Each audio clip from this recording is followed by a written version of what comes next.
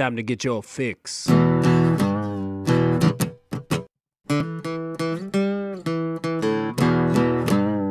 It's a horrible gaming podcast. It's not good, it's not great. Horrible gaming podcast. It's not even what you would call fair. It's really not that good.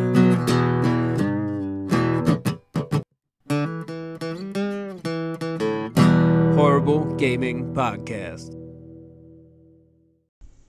Hello, everyone. My name is Zachariah Van Siders, the Old Man Gaming. With me, as always, is.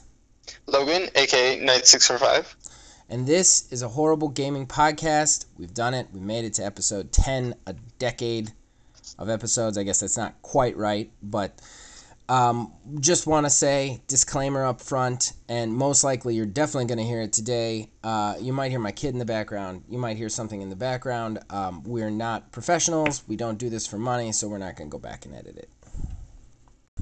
All right, last week we reached out. We we asked the fan interaction question, and uh, we actually had kind of uh, low responses this week.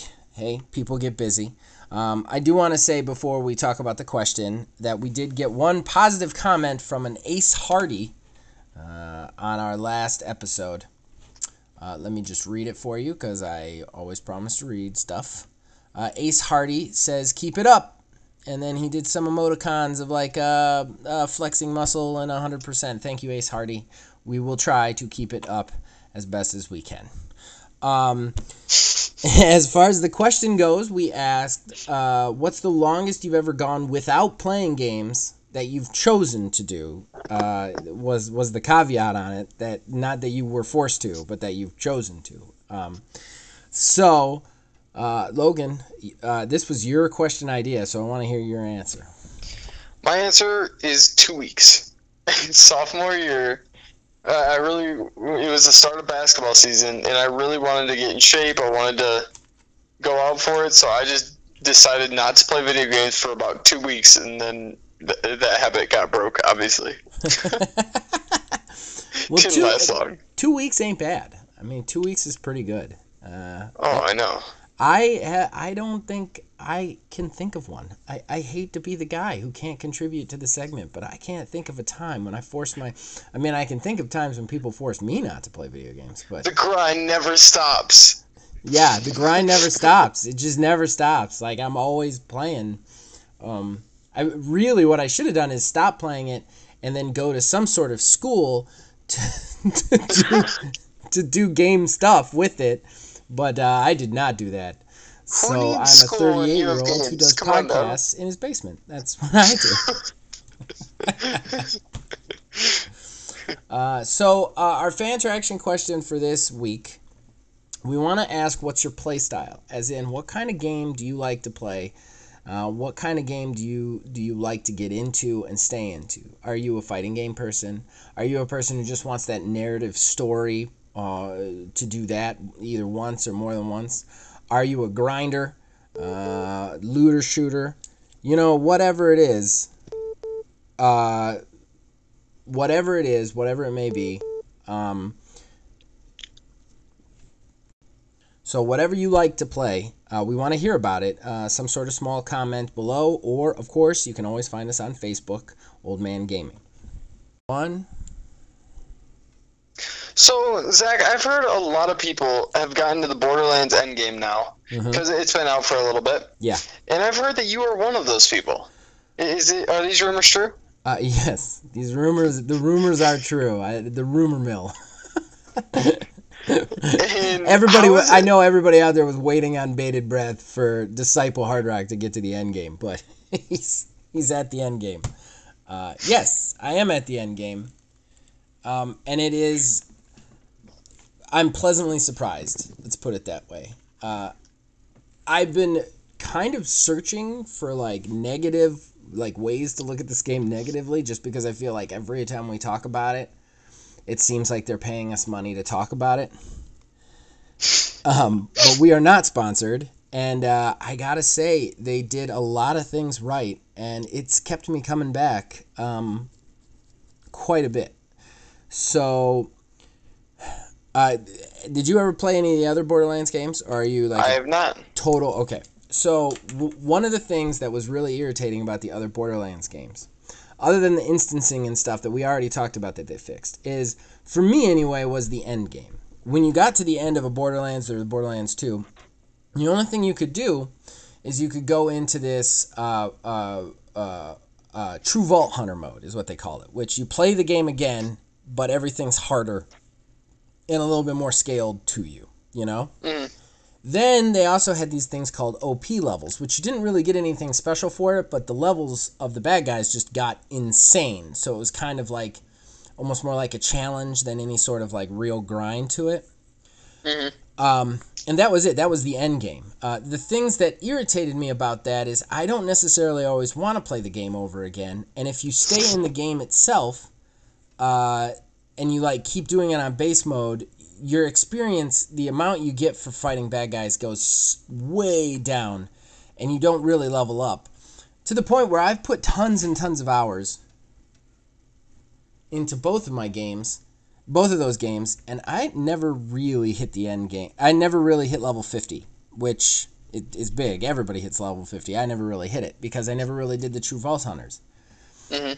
That being said, they've added this thing called Mayhem Mode, which is absolutely awesome. What it is is after you beat the game, you can they're like these difficulty modifiers that you can just put on the normal game, and it immediately scales all the bad guys to your level.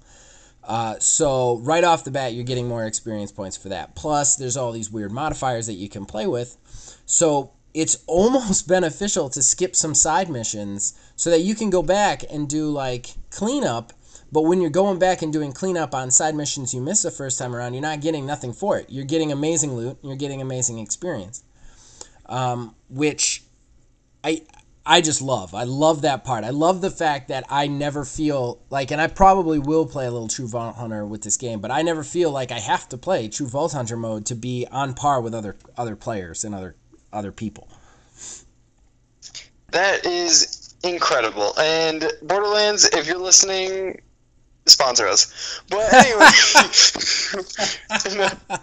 Yeah, definitely. Honestly, I know we always say we're not sponsored. I will totally sell out. Like if there's somebody out there who wants to give me money to pimp their stuff, I will 100% take it. And anybody who's listening to this needs to know that ahead of time. I will 100% sell out. Uh, I wonder. I wonder if we just start saying that we're sponsored by people, if they will actually sponsor us. I think we might get sued faster. like we, we specifically did not sponsor them. Like we we don't want them to, to be sponsored by it. We don't want them associated with our brand. I mean, Gearbox as a company is doing a lot of stuff wrong. Like if we want to talk about that, uh, the whole weird fight between Gearbox and Troy Baker got even more complicated this week. Uh, I don't know if you know about that. I do not know about that. You do not know about that. Okay, so do you know the how it what it started as like a few months ago with the whole like back and forth between Troy Baker and Randy Pitchford? Do you know about that? Not at all. Oh my Inform me. Okay, so like Gearbox's hot water for Borderlands 3 has all been behind the scenes because it always is because Randy Pitchford is kind of a giant psychopath. And uh, so he didn't bring back the the voice of Claptrap. The voice of Claptrap in the third game is a different voice. This was the first problem that they had. And the reason he is a different voice, according to the guy who originally did Claptrap, is he was like, well, when we first did the Borderlands game, I was just kind of working there, and he just asked me to do the voice as like a joke. And then I, it became like a major character. But this time, when he wanted me to come back, I don't work there anymore, and he wouldn't pay me to be a voice actor. What? Yeah, yeah. So that was the start of their problems on that front. Then uh, the voice of Rhys, uh, he was the voice of Rhys in the Tales from the Borderlands character uh, game, where all the characters from Tales from the Borderlands actually, well, most of them made it into Borderlands Three. Um, Troy Baker, who is a famous voice actor uh, in the in the community, uh, was Rhys. Well, he. Uh, uh, he wasn't invited back either. And when he was asked for comment, he straight up said he was like, he was like, they didn't ask me to come back. I wanted to do it. I was expecting to do it, and they just never asked me to come back. So then Randy Pitchford came back and said Troy turned it down. So then Troy turned it back. It turned into this flame war on on Twitter. So Troy came back and said, uh, "I never turned it down. I never said no. He should fact check his statements before he makes them." Um, so like there there was this back and forth between them back then, right? Okay. That seemed to die down a couple of weeks before the game came out. Well, just recently, just this last week, Troy Baker was asked about it again, and he straight up said, uh, I don't want to, this is paraphrasing because I don't want a straight quote because I don't have it in front of me, but for the most part, what he said was that they wouldn't hire him because he's a union a union actor. Yeah, which caused all sorts of problems because at first they were like because at first he was like they did call me. They said do you want to do this? I said yes. And then they just refused to make it happen. And then when they probed him about that he was like it wasn't about money. It wasn't about scheduling. They just won't go union. And he just left it at that which caused a whole big controversy because on one half you can't do that. You can't like that's on on that's actually illegal. Um, and Oh, then on the other half of it, um, and then on the other half of it, uh, uh, where was I? Oh, and then on the other half of it, um, there are actors who are in the voice actors union in this game. So Gearbox came back and said, you know, again, this is a paraphrase, but basically they were like, we hire union actors. We have to hire union actors because we conform with the Texas uh, employment law. But at the very end, they were like, uh, we would love to collaborate with Troy again in the future. And then they basically took credit for his career. I in a very nice way, but they were like, they were like, we we're very happy with all the success he's found since he started with us. Wow. Yeah. Wow. Yeah. So like that kind of stuff is real bad. And Gearbox just Randy Pitchford does that shit and he's kind of a loon. But the game itself is really good. The end game is really good. Uh, they also have a mode called Proving Grounds, which is like a 20 minute, uh, you get in, uh, you get out sort of thing. Um, and it, it's great. They have like a, they also have a horde mode type thing where it's just kind of survival pouring on enemies. So if you don't want to just like go back and do cleanup or go do Vault Hunter, you can just spawn into these modes and you get stuff based on your level. Um, so there's a lot of there's a lot of stuff that just keeps bringing me back to this game. Um, they're also they also seem to be adopting more of a games as service model for their post launch support hmm uh, because they're going to be doing uh, a limited time event around Halloween. So you're gonna get like I think like three or four weeks to play it, and then that stuff will go away, like a limited time event for like the other games of service. Of course. Um, and then they're they're they have a roadmap. It's kind of a weaker roadmap as to telling you what it is, but they do have a roadmap as to you know stuff coming up. I'm not super hyped about the paid DLC Okay. part. Um, I, I would say that if I have one complaint in this world right now, uh, and the way people are doing stuff, I think it's a little short sighted to do um, paid DLC right now. No, I, I can definitely agree. I mean, don't get me wrong, I think that developers should get money for their work. And I don't know that it was a good idea for the the business as a whole to stop making people pay for DLC, but everybody has and I think them being the only company that's like you got to pay for our DLCs when Division 2 yeah, it's all free. Uh what's the other ones? Um Breakpoint is I think all free. Uh, Destiny, well, Destiny you got to pay for them, but Destiny made the original game itself free. Yeah. So yeah like, that was a huge deal. yeah, it's a huge deal. So like, I mean, I think that like them just, yeah, you got to pay sixty dollars for the game and you got to pay for the DLC is is a little short sighted on their part. I just I just do. And I'm It, it, it's only that way just because, just like you said, everybody else it went the other way. and that's that's the thing and and i i hate to say like personally i don't necessarily think that was the right idea for the company and i'm sure that there's going to be people out there who are not happy with me saying that i'm on board for paid dlc but if i'm not paying for part of the original game like i don't like it when they do that but like if it's actual more content for the game i don't understand why i shouldn't have to pay for it a little bit you know Yeah. but like to do paid DLC in the current marketplace, it's almost like a bad word because all the DLC anybody puts out for these types of games is free. And I'm actually surprised they haven't gotten more backlash for that. That's true. That's true. I mean, and I'm not necessarily saying I agree with it. I want them to get money for good stuff, but when every other company and game system around you is saying our DLC is going to be free, I don't know how they can get away. I mean, they've got to have some balls to say no, you got to pay for ours, you know? Well, if they're making money off of it, that is true. It is the highest selling Gearbox game, the fastest selling Gearbox game in history, from what I understand.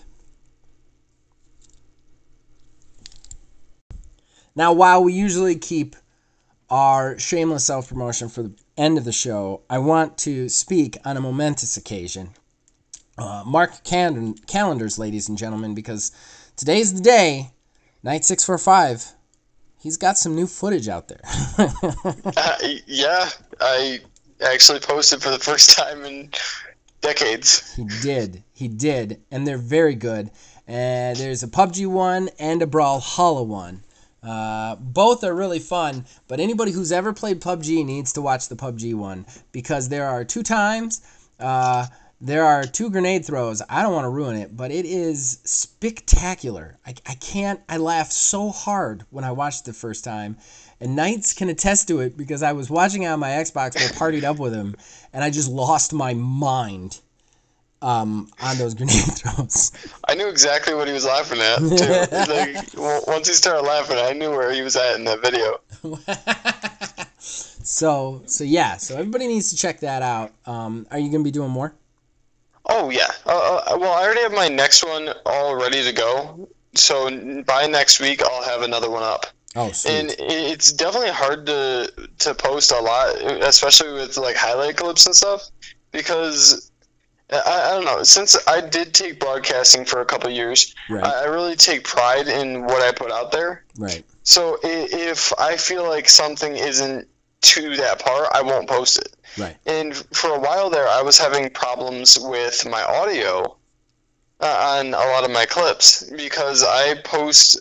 So I I make it through Xbox, and then I end up posting it through my phone Right. to YouTube. And turns out I had to like clear the cat the cache or whatever from from YouTube on my phone so that the audio would sync up perfectly. You need to get like a decent desktop.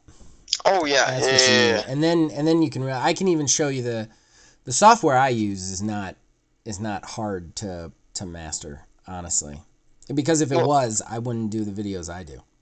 Well, well, you know, I'm gonna get a PC eventually, Right. and right. Keep talking about it. perfectly. Keep talking about it. I I think. I think It'll yeah, I think your stuff yeah. would definitely benefit from a PC. I will say I think it's harder to do highlight videos. The highlight, the few highlight videos I have on my channel, uh, I had a lot of fun doing, but they took a lot more work than the let's plays, which is kind of crazy to say that, but it's it's just true.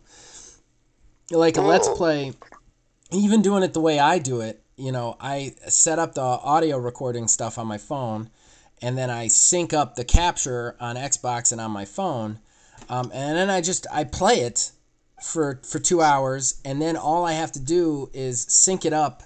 Like it's it's really it's like as easy as slapping in the, the sound and slapping in the video, and then just making sure that they're on the right track, and then bam, it's done. Whereas a highlight video, you really gotta like find what you're looking for, which I think is a little bit more difficult. Oh, exactly, exactly. And then also you have to do the highlights. that's that's Right. another thing. Right. because in, in some ways I can force it, and I, I've been Zach, Zach knows this. I've played with him a lot where I've forced highlights, where I've like really went for that. Right. But Right. but uh, you can't do that a lot. Like Right. a lot of the time, it just has to happen naturally. So you just gotta play a lot. Right. Uh, Well, and that's what's even what's what I've found even harder is uh uh you can't like yeah like you can't just like set the recorder like with a let's play I could just set the recorder for an hour and I I get an hour of footage you know or even the reviews I get an hour of I I with the reviews usually it's three different hour sections three to five and then I those are the hardest ones for me because I have to like cut them up. But like with the let's play, you just set it. Whereas with a highlight reel, if you did a highlight, you have to like somehow get back to the thing. You know what I mean? You have to in the game like capture the thing and hope you captured enough to catch the highlight. And if you're in the middle of a firefight in PUBG and you kill one guy and there's three other guys, you're dead if you try and if you try and get the highlight. You know?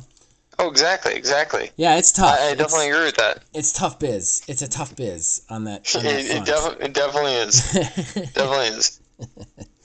But you know, go check it out. It's fantastic. it is fantastic. Those Like, grenade uh, throws. drop me a comment, whatever. Those, those grenade throws are worth a segment all by themselves. Like they're just they're so amazing. I, I love those grenade throws.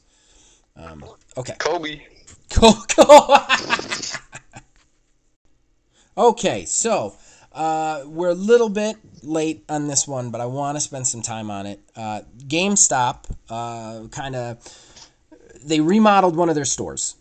Um, and everybody's saying that this is what all the GameStops are going to look like. And we actually even talked about uh, this a while ago. Um, A long time ago. just a warning to everybody out there my kid has made it down the stairs, so it is highly possible you will all be hearing her for the finally for, for the first time. So Yes. she is now playing with something she shouldn't be playing with and is making her way into the basement room. So this should be interesting. But anyway, so the GameStop, uh, we had talked about this a little bit about them becoming a cafe was the rumor. Um, and uh, basically, they released some leaked footage, uh, which I don't think was leaked. I think I I think they wanted it to get out there. But one Oh, of their they stores they did. remodeled. I don't remember where it was, like Oregon or Oklahoma or something. And uh, It was Oklahoma. it was Oklahoma. Okay. Uh, they remodeled the store, and uh, basically everybody's saying this is what all the GameStops are going to look like. And you can find footage on it. Just search GameStop remodel on YouTube. You'll find it. Um, so, well, I'll go to you first, Logan, because I have some thoughts on this. What do you think about the remodel? You got to see it for the first time today. It it looked a lot better than I thought it would. Yeah. I Yeah. It looked a lot better than I thought it would. Um, I, I thought that it wasn't gonna be even half as good as it was. right. Their whole chill out area, that's fantastic. Um, Yeah. I, I like how they still have the games built up, and it still looks like a GameStop. It still looks like it used to, but then they added that whole ha- hangout space, and it looks a lot more comforting. Yes, yes. I so I am really happy with the remodel. Like, and I would be really interested. I, I keep trying to get a GameStop employee to come on this podcast. Nobody wants to, for probably for obvious reasons. Um, Just but, show up uh, at GameStop. Hey, you want to be on a pad- podcast? You want to get on a podcast and talk shit about your your place of employment. Um, but uh, one thing I gotta say, um, so we've talked a lot about digital sales uh, versus physical sales in the past, and I have said how while digital sales are the way we're going, and it's nice, I don't like the disappearance of the physical sales because you know it takes some freedom and it takes some equity away from the players and the owners of these games. Um, so I buy my games physically. I, I always will because trade in is is worth something, whereas digital is not. Um, well, I will as long as I can. Let's put it that way. And don't get me wrong, there are services out there that I, I'm going to get on a rant. I don't want to get on a rant. Um, but but anyway, so one thing I like about this is it almost feels like they've kind of targeted uh, my generation. Like almost they've targeted they've they've sat down and they were like, who really comes into these things anymore? Oh, it's the guys who also played Nintendo and Genesis and Nintendo 64. Um, it's those guys uh, who still actually buy physical games. Let's make the store more appealing to them. Fully agree. Okay. So what I love about their whole thing right now, they set it up so that for your generation they have the Hold on retro one second. I games. gotta yell at my kid. Stella, Get out of dog food. Stella, you're on a podcast right now being bad. This will be cemented on YouTube forever. Stella, Uh, get in here. we love you, Stella. You wanna come- You're. Say something on the podcast? Oh, please say like a curse word or something. Pro- That'd be so yeah. great. She's not gonna say. She'll say gibberish. Come here. Talking to the phone. Say hi. Hi. Ooh, that was a strained high. She Oh. is feeling sick out there, everybody. How you feeling? Feeling a little bit better? Feel better? Okay. Stay out of the dog food, all right? All right. So sorry to interrupt you there, Logan. You can keep going. So what uh, I, I, was saying, I, I think that they really fed into having the retro theme for your generation, but then at the same time, they made my generation really want to go because they made it more welcoming and more of like an esport area. Like, Yeah. and I I know, like, I, I don't want to get too into it, but a lot of gamers do have problems, like, meeting friends and stuff, especially when they're younger. This is And true. And with they the also hang- have a hard time finding a place to play sometimes, and this is Oh, definitely exactly. a place to play. I I I agree with that. I agree with that, and I I hadn't thought of that. I had thought about it from my old man perspective, but that's that's true, and I I, I think this helps every, especially if they do serve what everybody's saying, which is they're going to serve like snacks and maybe coffee drinks, and, and that would be amazing. How amazing would that oh. be? Oh, exactly. to like go to a place like they, they don't have those places anymore. They, th those places just don't exist anymore. And when i was younger and xbox had first come out and there was all the LAN parties and stuff there were stores and stuff that you would just go to and you would just hook up all your xboxes and play.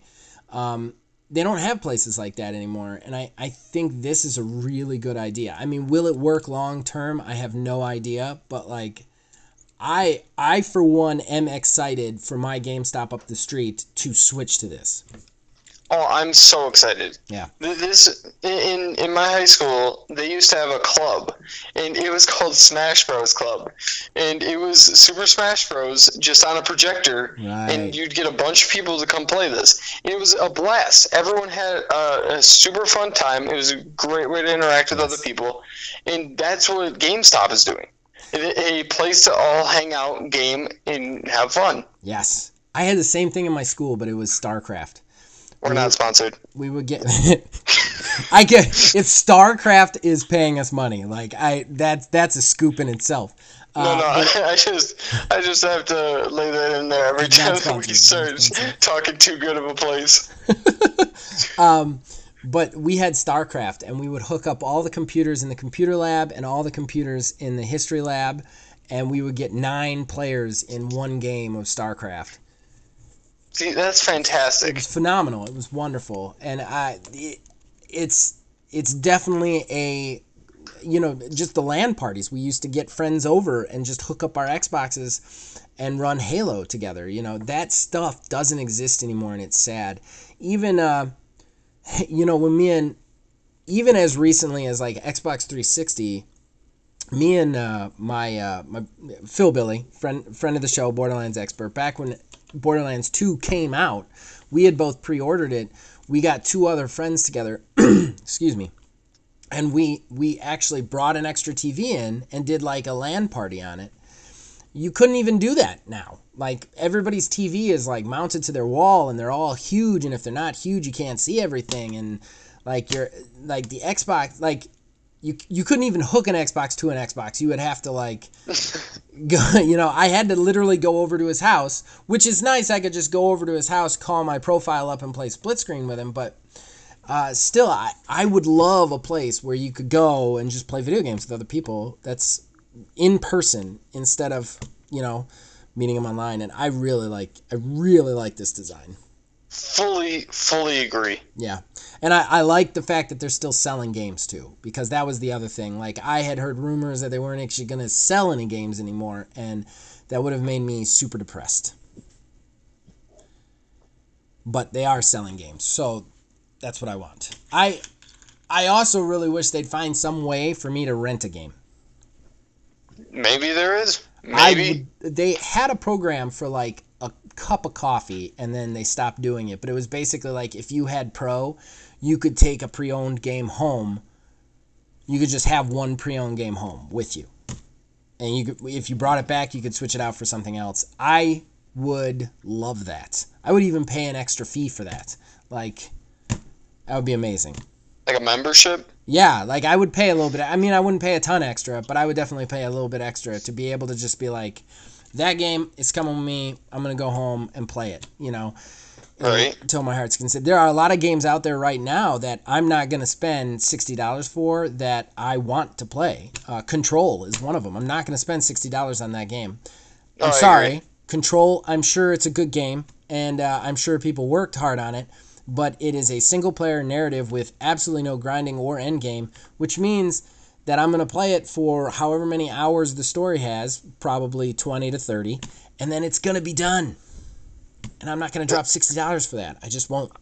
I feel like that's uh, the problem with a lot of single player games Yeah. nowadays because you can't play it after you beat the campaign. Yes. You already you already beat the game.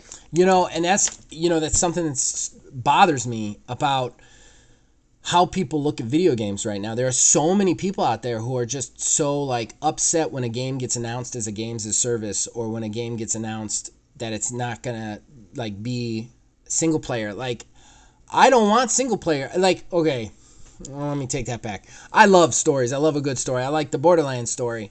I that's not going to keep me coming back forever. I want a game that if I drop money on it, anytime I want to play it, I'm going to have some fun with it. Period. Agreed. You know?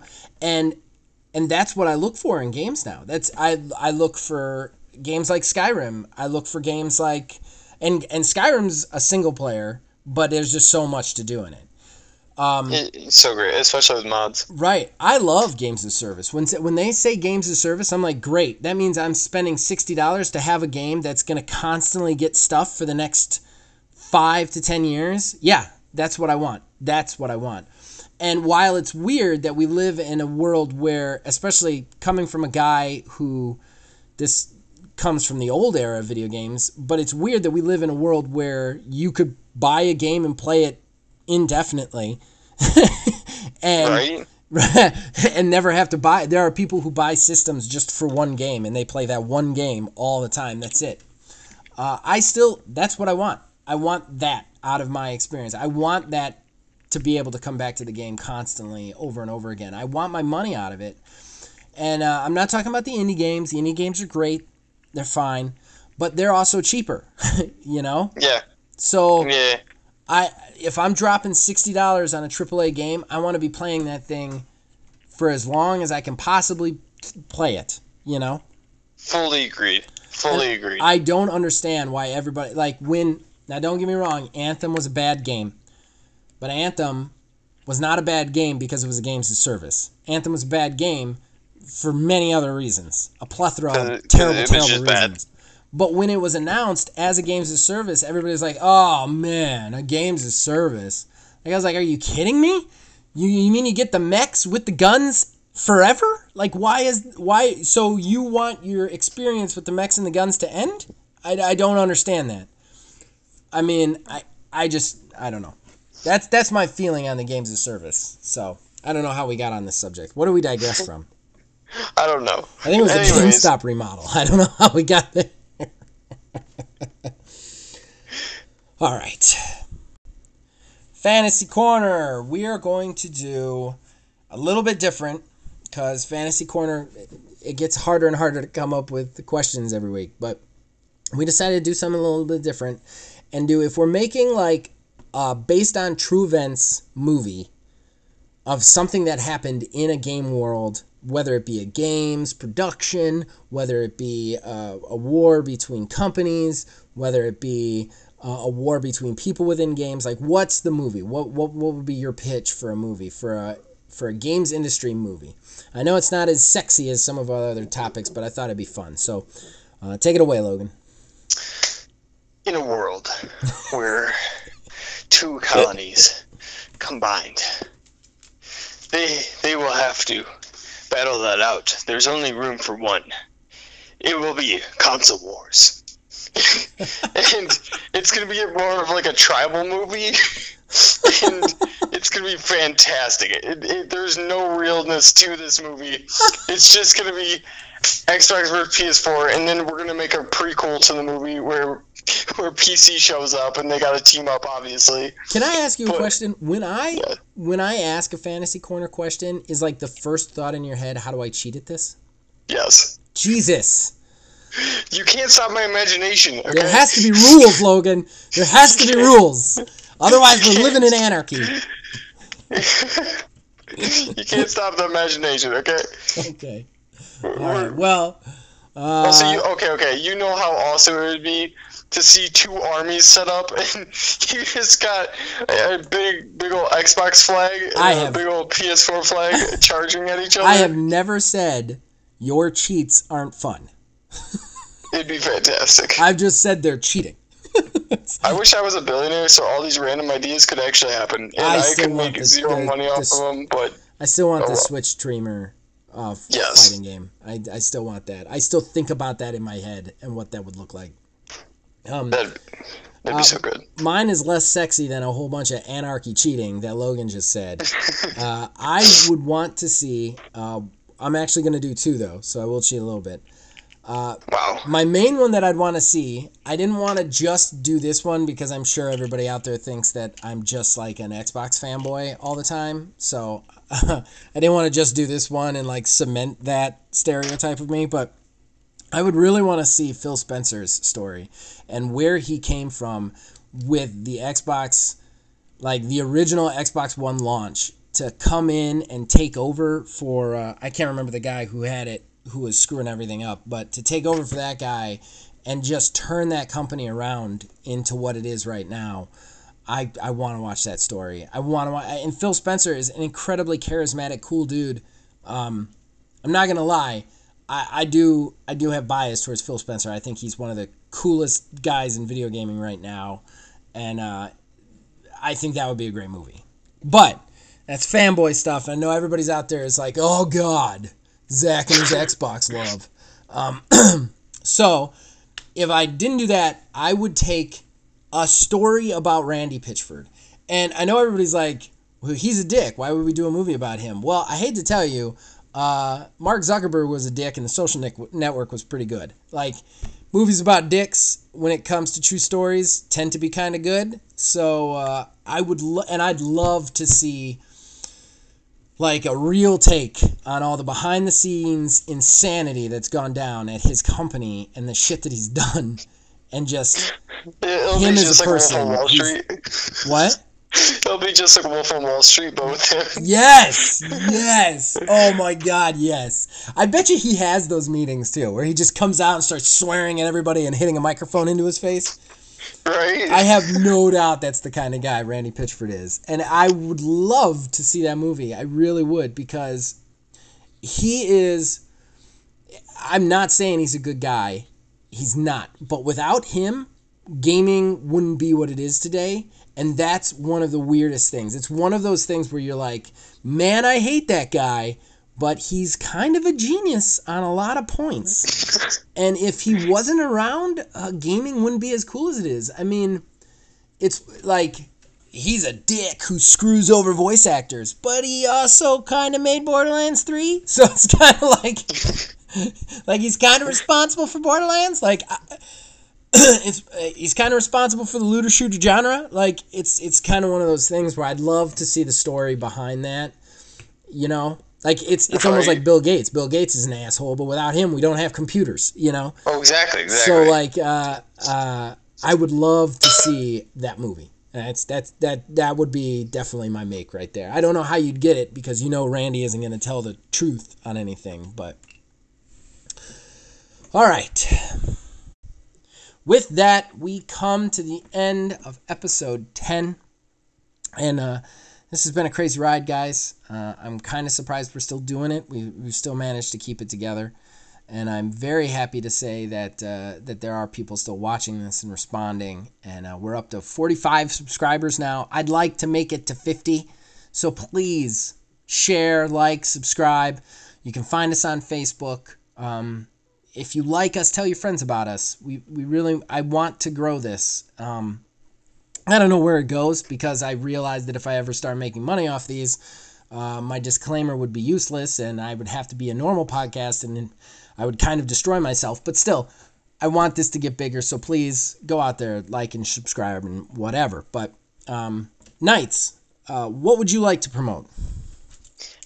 I would like to promote our podcast so that it gets 50 subscribers. Woo! Yeah. But um, my YouTube at Nightspace645. Just like I said, dropped a video. Gonna drop more videos soon. Love you guys. as far as me, uh, again, uh, Old Man Gaming. Uh, I do a review on Monday. I do Predator versus Prey on Wednesdays for now. I do Borderlands 330 on Thursdays. And then uh, I do this show every Friday. We record on Wednesday, but we do it every Friday. So uh, please check out any content there that you'd like to check out. And, uh, uh, you know, as long as you guys keep watching this and keep listening to it, we'll keep making it. And uh, thank you again. We'll see you next week.